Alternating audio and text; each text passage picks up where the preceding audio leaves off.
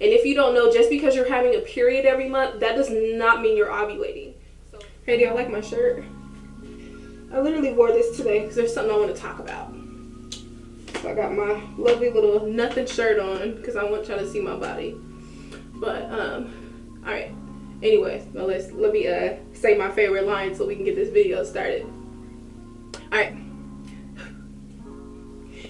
Friends, welcome to my channel. My name is KrieMarie, aka the lady in the shoe. I got five kids and plenty of advice for you. And today we're talking about the benefits and the importance of taking folic acid as it relates to pregnancy. I will also share some common questions I have received about our best friend, aka folic acid.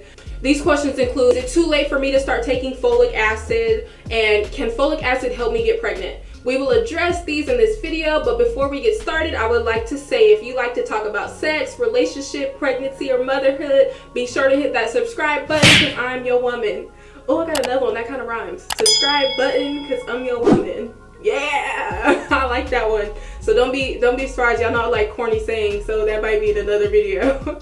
Anyways, I have great content that I will be dropping next week that you will love. So be sure and also be sure to stick around to the end of the video because I want to share something with you all. You know, hence the shirt.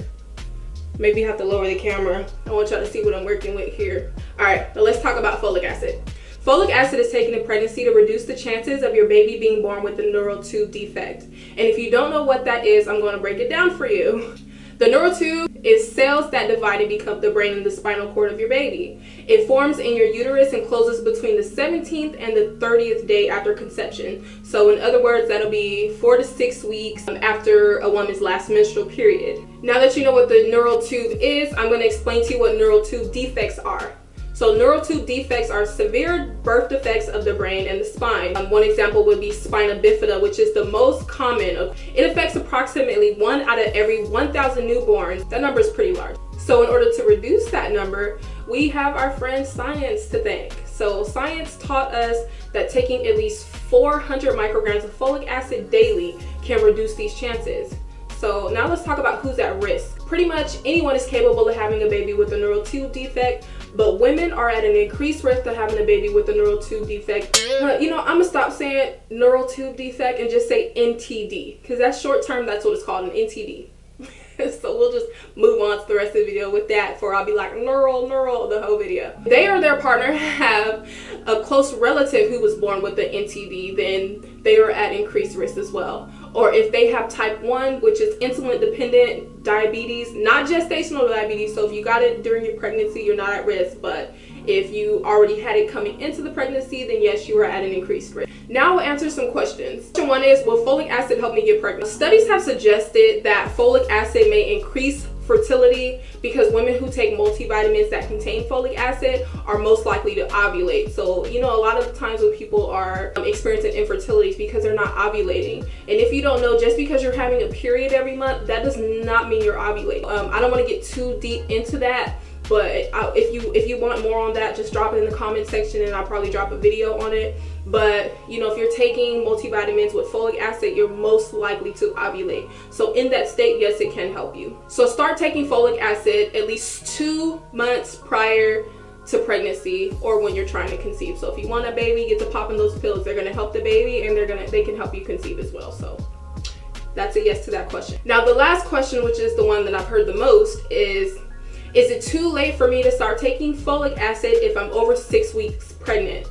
It would have been better to start taking it two months prior to getting pregnant, but like I've stated in the previous video, uh, don't be alarmed because 45% of all pregnancies in the U.S. are unplanned. Um, you know, so, sometimes things just don't work out that way and that is fine. So it's obviously not possible for everyone to start doing that if 45% of pregnancies around here are unplanned. So, you know, you can't start taking this pill you don't know, right? But luckily the baby's spine is still forming up until 12 weeks and most people find out they're pregnant. Well, not most people, I'm lying.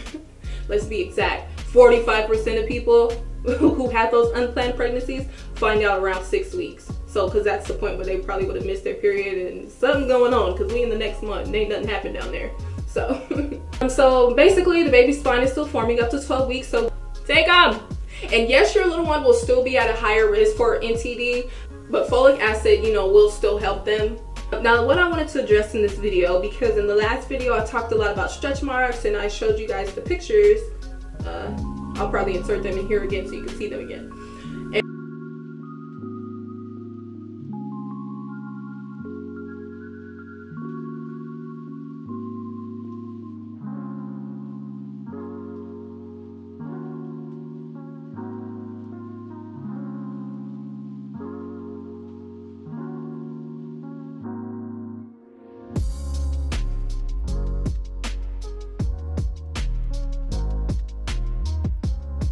And someone was saying oh you know they asked me well what did you do for your body? What did you do? What did you do? And i just want to you know be transparent.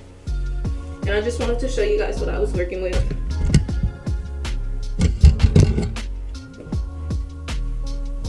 So this is me after five kids. And i wanted to show you guys this because again like i said I wanted to be transparent. And so when I start this challenge of showing you guys how to get rid of the stretch marks and everything, I just want to make sure you guys see me in a better light than, you know, with the pictures that I took. I just want to show y'all I got work to do too.